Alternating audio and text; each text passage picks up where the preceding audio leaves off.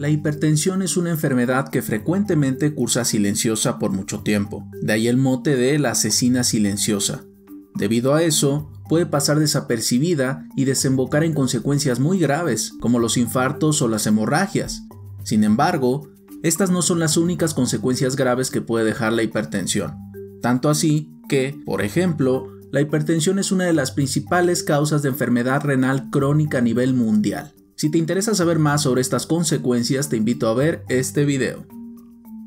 Número 1. Daño renal. Recordemos que una de las principales funciones del riñón tiene que ver con la regulación de líquidos, así como con la remoción de sustancias dañinas para el cuerpo.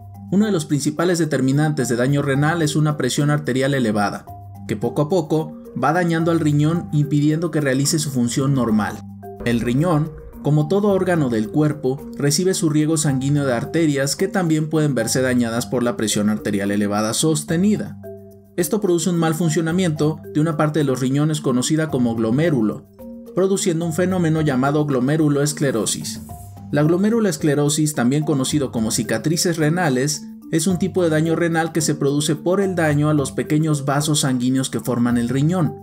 Estos se cicatrizan, impidiendo su correcto funcionamiento. Eventualmente, la glomeruloesclerosis puede desembocar en insuficiencia renal o como la conocemos los médicos, enfermedad renal crónica. Este daño puede ser tan grave que lleva a la persona a requerir diálisis o sustitución renal. Es importante enfatizar que este daño se acelera de manera importante cuando hay un descontrol de la presión arterial. No es lo mismo un paciente que maneje presiones de 160-90 que un paciente que maneje presiones de 120-70. Así que la mejor manera de evitar esto es llevar un control adecuado de tu presión arterial. Número 2. Daño en los ojos. Los ojos, al igual que otros órganos, tienen vasos muy pequeños que irrigan a la retina, la parte del ojo esencial para la visión. La hipertensión, por su parte, llega a dañar también estos delicados vasos sanguíneos, provocando tres consecuencias graves. Número 1. Retinopatía. Este es el daño en la retina producida por la hipertensión, conocida como retinopatía hipertensiva. Esto puede provocar hemorragias en el ojo, visión borrosa o incluso pérdida total de la visión. Si además de padecer hipertensión vives con diabetes, el daño es mucho mayor. Número 2. Coroidopatía. En este caso se produce daño a la porción vascular del ojo conocida como coroides, lo que facilita la acumulación de líquido debajo de la retina y que a su vez puede alterar la visión o incluso producir un fenómeno de cicatrización que perjudica la visión. Número 3. Neuropatía óptica. En este caso se trata de un daño debido a un mal riego sanguíneo por una obstrucción total o parcial del flujo que llega a este nervio. Esto produce un daño insidioso que puede dañar los nervios y desembocar también en la pérdida de la visión. Número 3. Disfunción sexual. La hipertensión es una causa frecuente de disfunción eréctil en hombres mayores de 45 años. Esto se debe al limitado flujo vascular que recibe el pene en el caso de la hipertensión arterial descontrolada. Hablé de disfunción sexual de manera general porque esto no implica únicamente a los hombres, sino que también las mujeres pueden experimentar una disminución del deseo sexual o libido, resequedad vaginal o dificultad para alcanzar el orgasmo debido a una reducción del flujo sanguíneo vaginal. Número 4. Daño cerebral. El cerebro es uno de los órganos con mayor riego sanguíneo y requerimientos metabólicos de todo el cuerpo. Depende de un suministro constante que se ve afectado en la hipertensión arterial. Un flujo reducido o directamente, una interrupción del flujo sanguíneo tiene diferentes consecuencias para tu cerebro que pueden afectar tu capacidad de movimiento, tu memoria e incluso tus funciones cognitivas. Algunas consecuencias en este sentido son, número 1, ataque isquémico transitorio o TIA. También llamado mini ataque, se refiere a una interrupción breve y temporal del flujo sanguíneo. Si bien puede no tener ninguna consecuencia a corto plazo, sí se ha asociado a un muy importante riesgo de sufrir un evento vascular cerebral en el futuro. Por lo tanto, el presentar uno es una advertencia extremadamente importante de que debes de controlar tu presión de manera urgente. Número 2. Accidente cerebrovascular. Aquí ya estamos hablando de palabras mayores. Un accidente cerebrovascular normalmente tiene secuelas motrices o funcionales para los pacientes. Pueden ser tan graves incluso que lleve a la muerte.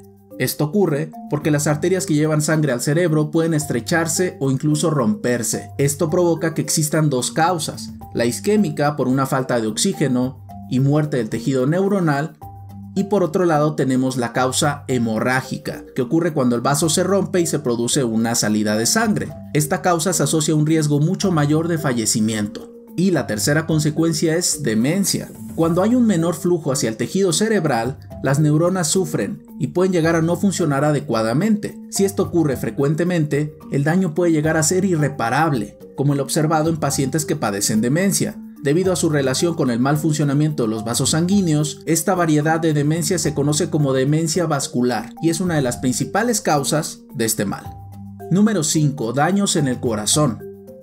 La cardiopatía hipertensiva es una de las causas más frecuentes de morbilidad y mortalidad en pacientes que padecen hipertensión. Los daños al corazón pueden producirse tanto por el esfuerzo excesivo que la hipertensión condiciona en el corazón, llevando a la cardiomegalia o crecimiento del corazón, como también por el estrechamiento de las arterias que llevan sangre al corazón, este estrechamiento puede tener consecuencias graves como la angina de pecho, arritmias o incluso infartos cardíacos. Por otro lado, el daño constante al tejido cardíaco puede facilitar la instauración de la insuficiencia cardíaca, donde como el nombre describe, el corazón comienza a fallar en cumplir su función, lo que reduce dramáticamente la capacidad aeróbica de la persona, dificultando actividades diarias como caminar, subir escaleras o incluso dormir.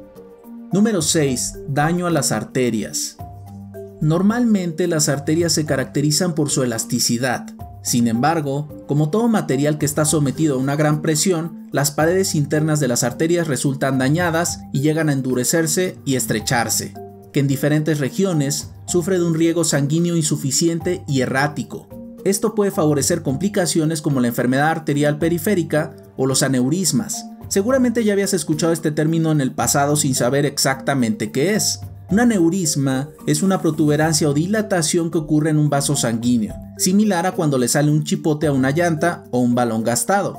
Los aneurismas pueden localizarse en cualquier parte del cuerpo, aunque el cerebro y el abdomen son dos áreas particularmente importantes, porque cuando llega a haber una hemorragia, la mortalidad se eleva exponencialmente y requieren atención médica urgente. Como puedes ver, las consecuencias de una presión arterial mal controlada son graves y en muchas ocasiones irreparables.